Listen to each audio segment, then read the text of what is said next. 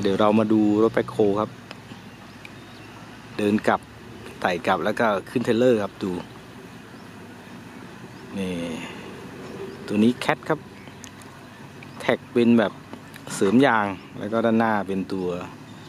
ผานดันดินครับ อันนี้เอาไว้แบบน่าจะทำงานแบบอเนกประสงค์ อันนี้เป็นเทรลเลอร์ครับสองเผาหน้าดู นี่รถสิบสองล้อครับดู ด้านหลังแปดด้านหน้าสี่ครับสิบสองล้อครับ เป็นตัวฮีโน่ครับ ติดเครนครับอเนกประสงค์เนี่ยงานขนท่อยกท่อนี้ได้เลยพอเร่งเครื่องแล้ว อะ ดูจังหวะ ตอนไต่ลงมาครับ ดูฝุ่นคลุ้งเลย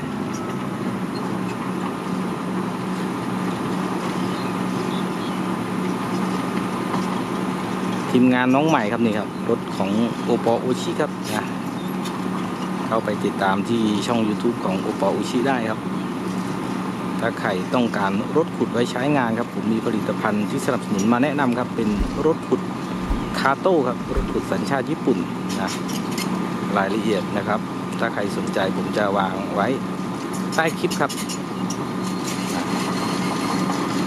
รถขุดสัญชาติญี่ปุ่นครับ ตอนนี้มีจำหน่ายรุ่น 21 ตันครับนะใครที่สนใจก็ซื้อหาไปใช้งานได้ครับ รับประกันครับพร้อมศูนย์บริการ 17 แห่งทั่วประเทศครับ แล้วก็จะขยายสาขานะครับ ศูนย์บริการอีกนะครับนะ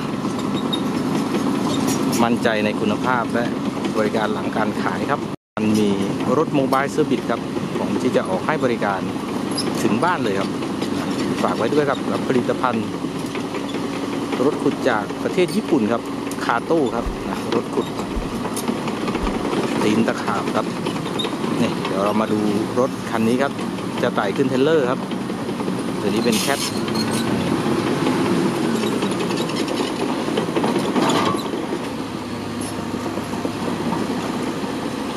โอ้ดูครับน่ามีการทำความสะอาดครับ track ครับ มาดูนะครับ รถขุดตีนตะขาบขึ้นเทรลเลอร์ครับ Caterpillar ตัวนี้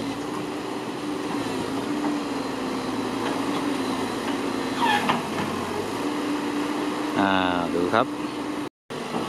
อะ จับตาดูให้ดีครับ เทรลเลอร์ก็สวยนะเทรลเลอร์สองเพลาครับสิบสองล้อ ตัวนี้นิสสันพร้อมติดเครนครับ ชุดเครนอเนกประสงค์นะนี่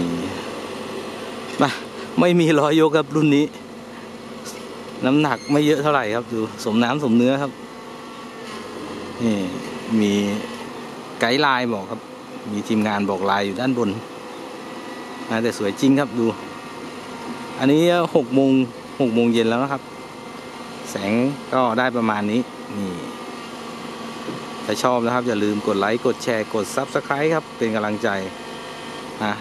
ให้กับช่องชนาวันครับ จะได้ผลิตคลิปออกมาให้ดูเรื่อย ๆ ครับ